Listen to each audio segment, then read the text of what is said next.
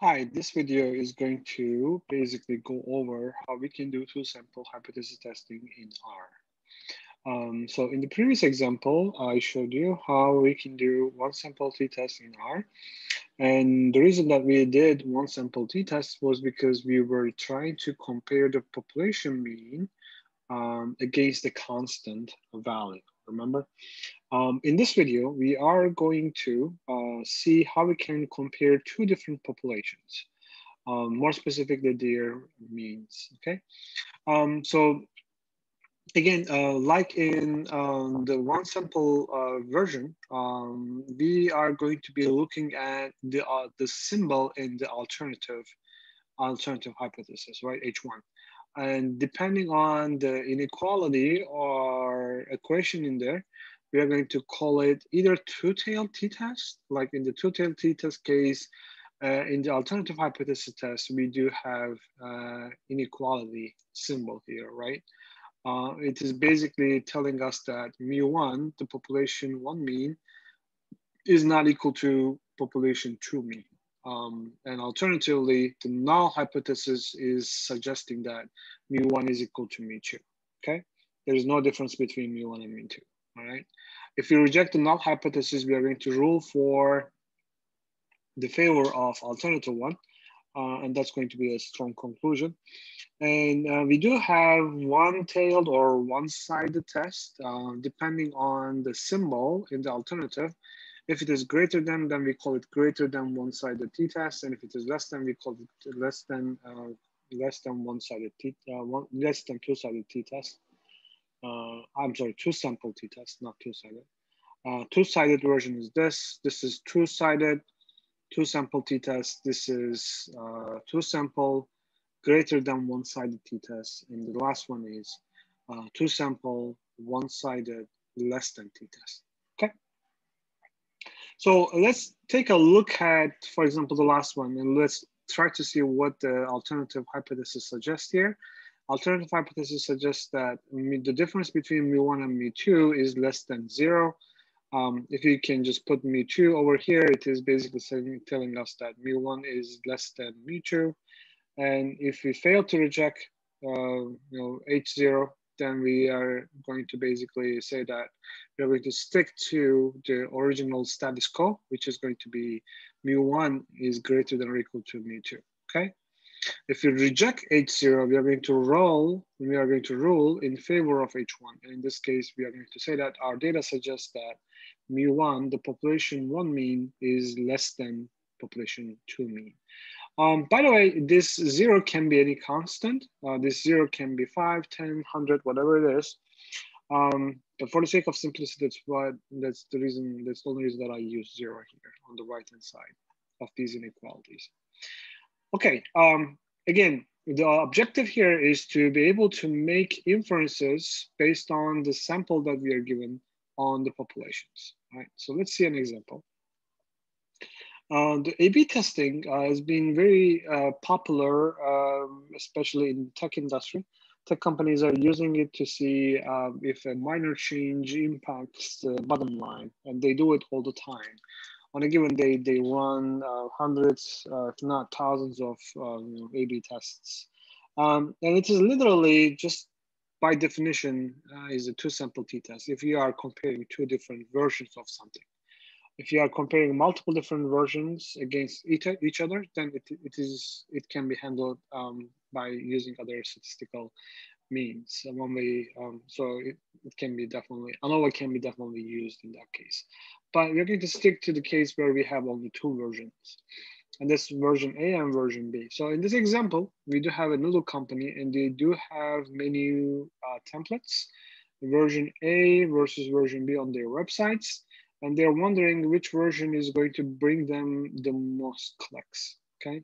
They do have two different data sets. So in the first type of data sets, the data is unpaired. So in this case, um, they do have unpaired data of 40 customer clicks on version A and 40 different other customer clicks on version B. So they're, um, they're recording. Let me go to the Excel file and show you what it is. If you go to the null Excel file, so noodle unpaired data set, They do have uh, version A customer ID. They collect customer IDs here. They do have 40 customers. Uh, and then the number of clicks that they made on version A. And there are different 40 different customers here and their respective number of clicks are also given in this data set. The fact that this data is unpaired is very obvious because you know uh, version A customer IDs are not really same as version B customer IDs. It is indicating that those are different for the different uh, uh, customers. Um, so this data is not paired. So on the second data, the paired data, we do have uh, 40 different customers again, but they do come back and then work on a version A of the internet template that they have, website that they have. And they also work on version B of the website that they have. And they collect the number of clicks every time a specific customer comes in, came in and uh, looked through their websites, okay? This data is paired because the experiment is conducted on the same um, entity. Um, um, what can we give as an example to other paired data? For example, if you are worried about the tire wear um, on the passenger side or the rear side, you know, uh, let's focus on the front side. Let's look focus on the driver side and the passenger side. And you collect some samples and then you run through them, you do t-test. Well, in that case, that is also a paired data because the car is the same car, you look at the, the front left and front right, and you try to see which one is reared out most, right? If that's your problem, for example, that's still a paired data example. So depending on how data is collected, our t-test is going to differ, right? We have to be aware of that fact, okay? So in this case, uh, you are asked to help me make the best decision for the company. Should they uh, still keep using version A or they should they just you know, switch into version B? Uh, based on these two experiments, right? And what should be our conclusion? And the alpha is given as 0.05. Uh, first thing first, let's work on the unpaired data and let's try to see whether they are following a normal probability distribution. Um, these are the normal that I obtained from R. And the R file that you're going to be working on on this example is called, uh, where is it? Truth sample t-test noodle. Okay, uh, this is already posted uh, on Canvas. Go ahead and download and make it available to you. So first thing first, I will close this one sample version. I worked on it already. Uh, first, uh, first, first thing first, we are going to uh, import Noodle unpaired into, into R. I'm using library read Excel. I can call it with this code if I know the direct directory. Uh, if not, I am just going to import dataset from Excel, locate this file. It is Noodle file. But you have to be careful here. Uh, we do have two different sheets in this in this file. So I'm going to be selecting noodle unpaired one here, okay? Um, and it looks correct. And I will go ahead and say import. Um, um, I did something wrong here um, because the instructions were telling me to save it as noodle unpaired, but I imported it as noodle. Okay, so I will just put this eraser or sweeper button here get rid of this data frame I just imported. I will do it one more time. I will change the name. Um, here I will select noodle Excel file, make sure that I select noodle unpaired and make sure that I change the name. So the name should be noodle unpaired. Um, R is case sensitive. So if you uh, miss out any letter, um, uppercase, lowercase, matters as well. So in this case, it should be saved as noodle unpaired. U is capital, yeah. Okay, I got it right this time. And I hit import. Okay, all right, so I changed the name correctly. All right, I imported it already. I'm not going to use this comment, so I commented it out. I'm going to use this library, it's already loaded. Let's do the first thing first, right? So let's take a look at the describe function to see the basic statistics here. Um, in this case, I do have version A customer IDs and version B customer IDs. I don't really need them. If you don't really need them, you just need to call um, the columns that you are really interested in working on. So in this case, I am interested in working on version A clicks versus version B clicks.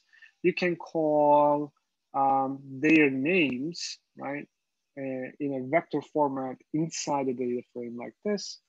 Um, so in this case, yeah, it is much easier to see. So as you can see, version B clicks is higher, the average is higher, and the median is higher this is still not uh, really uh, statistically significant difference. I don't know it yet. Uh, that's why I'm going to check that.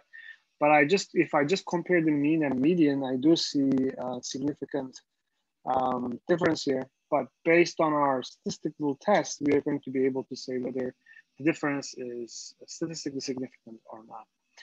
First thing first, we need to do um, look at the normality of these data sets, right? So we do have QQ norm and QQ line, the same functions that I use to work on my one sample t-test. Um, so what I do is I call QQ norm, noodle, unpaired. This is the name of the data frame. And if you use the dollar sign, it's going to call the column version A clicks, right? And let's run this, execute it. Um, it brings up my normal QQ plot. And if you line, if you run QQ line plot, it is going to draw a regression line or a, it is going to add a trend line to your, your plot. So it looks like a pencil would cover all almost all my points here. So I will just say that this passes the normality test. Let's do work on version B clicks.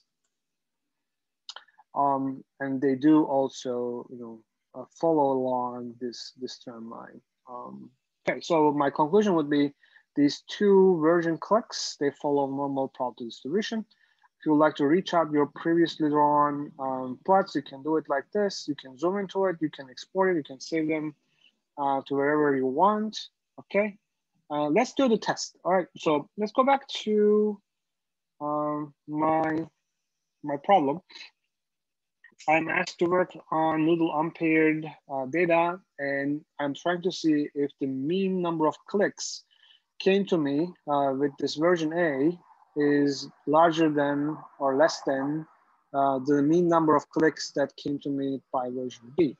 Version B is the new, new um, newly proposed system and version A is the, the status quo. Okay, so uh, if I need to put, define them like this, like mu A is number of clicks made on version A and mu B is number of clicks made on version B, the status quo is I can set it up like this is I can basically say that those are equal to each other, right? There's no difference between the two versions. And the alternative one would be the challenge. It basically tells me that there is a difference between VA and VB. So this is a two-sided, okay, unpaired test, t-test. And let's see how we can do it in, in R. So I create an object um, and uh, this object's name or the variable's name is two-sided, two-sample t-test unpaired. It's a very long one. Uh, again, the name doesn't matter as long as you use the name you know, correctly in other places, you can change this name. But the t-test is going to be the function, the name of the function that we are going to be using. In this case, if it is two-sample t-test, um, so what you put in the first spot of the parentheses is mu a. So in this case, mu a is uh, version A clicks, right? The version A clicks is stored in version A clicks column of this uh, data frame. And version B clicks is also stored in the same data frame, but in this time version B clicks column. The test is two-sided, right? I have to put it in the alternative spot. So the alternative hypothesis is um, two-sided, not equals to. And the R um, concept for that not equals to is two dot sided in text format. Put a comma, confidence level, we just say that it is 95%. Is this data paired? I put false, it's not paired.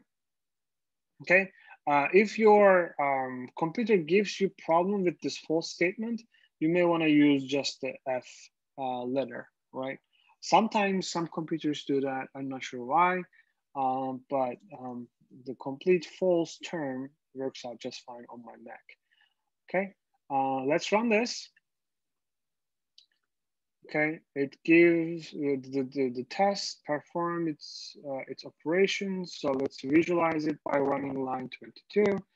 You do have the Welch two sample t-test. That's what R implements uh, behind the scene. And I do have the t statistics. Uh, I don't know the critical region, so I can't tell uh, anything by looking at the t statistic. But when you look at the p-value, p-value, this is 2.2 times 10 to the power of negative 16, which makes this very, this is the scientific term, uh, scientific representation of this number. It's a very small number. It can be literally equal to zero. Well, it's not zero, but it's a very small number. And it is definitely less than 0.05. My conclusion is to reject the null hypothesis, right? So I reject this in favor of this one. Basically, the alternative hypothesis tells me that mu A is not equal to mu B. Um, and mu A is the number of clicks that I received through version A of the website is not really equal to um, the number of clicks that I received from version B, okay? Um, that's what I concluded by running a two-sided, two-sample t-test. Well, is this a useful information? Well, let's think a little bit. Um, am I trying to decide if there's any difference between these two or am I trying to decide which one is better? okay? As I'm definitely trying to see which one is better, right? So actually, this test was not really good for me, right? Um, yes, there is a statistically significant difference between these two, but which one is better? It does not answer that question. Therefore, I should be modifying my test by putting in either less than or greater than sign here, so that if I reject or fail to reject this null hypothesis, then I can go back and see which one is better, or if there is any statistical uh, significant difference between the two. Okay, so I modified it. I put less than here. Basically, this alternative tells me that mu A version A clicks is less than mu B version B clicks. If I reject the null hypothesis, then I would be claiming that my data suggests that version A clicks is statistically less than version B clicks. Therefore, I can freely switch to version B. I would be feeling much better adopting the new website. Okay. This is still unpaired data again. I am just using a different test. This time, this is not a two-sided test. This time it is a one-sided t-test. And let's see how we can do it in R. So that is uh, located on line 25.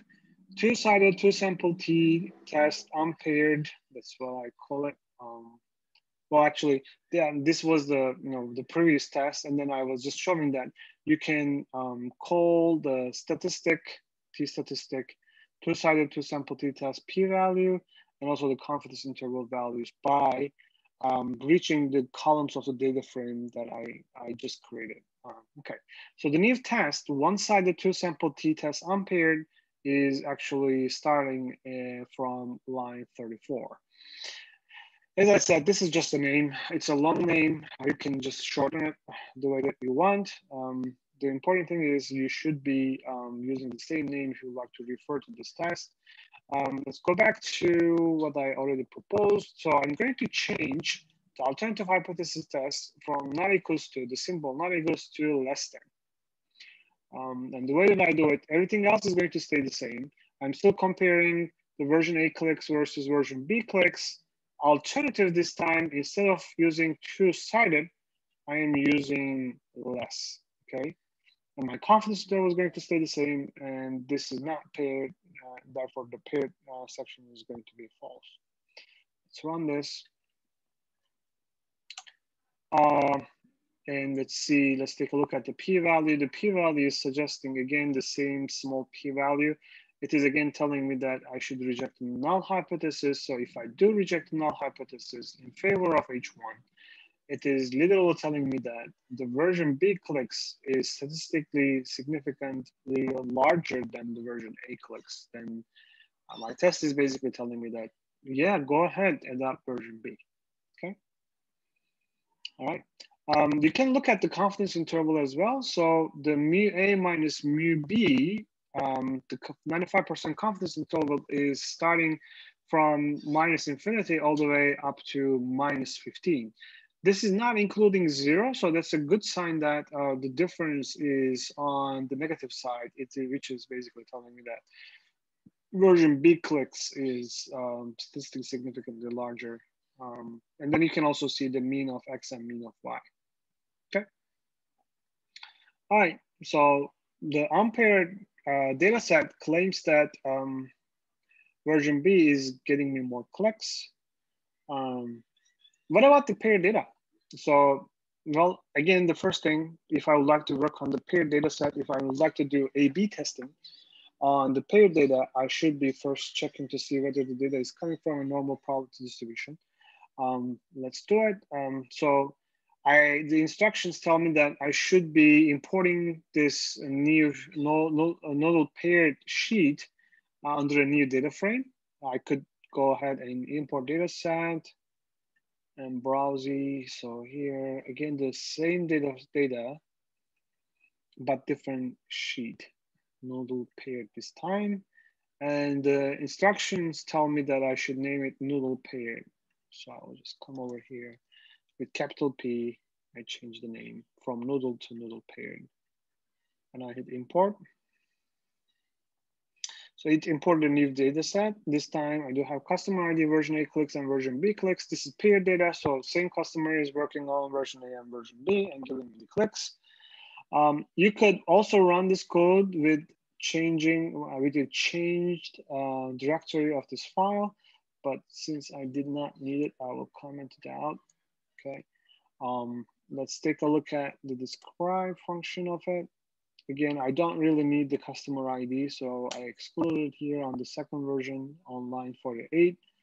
I do see the differences between mean and standard deviations and median, but we are, cannot be really sure without doing any statistical tests. First of all, let's do the normality test with the QQ norm and QQ line on both version A and version B clicks version 8 clicks uh, showing me that, yeah, although I do have some deviation, those are not really here or here. So I can fairly say that, you know, this data is coming from normal probability distribution. Let's run the version B clicks. Um, although I do see clear outliers here, um, I do I do also accept it as normal probability distribution.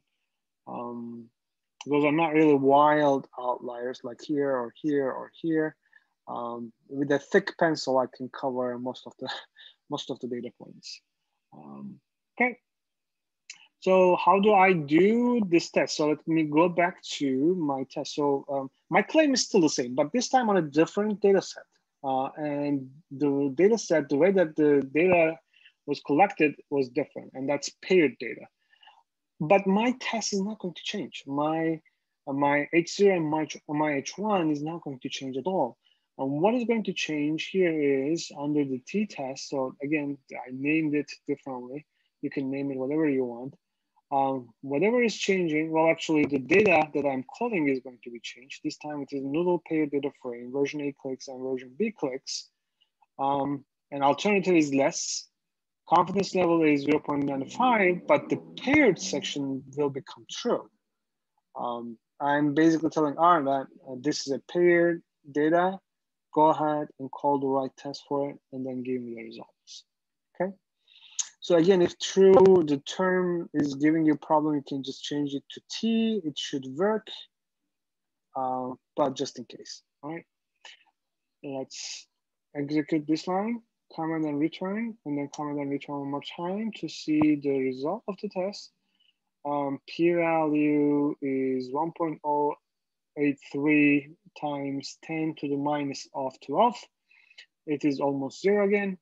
Um, it is less than the alpha value. Then my conclusion is uh, I should reject the null hypothesis. I should reject the null hypothesis in favor of H1, which also suggests that version B clicks is giving me larger number compared to version A clicks. So I should use the new version, okay? All right, so that is how you could do two sample t-test paired, unpaired data in R. So in the next video, we're going to take a look at the chi-square test for independence.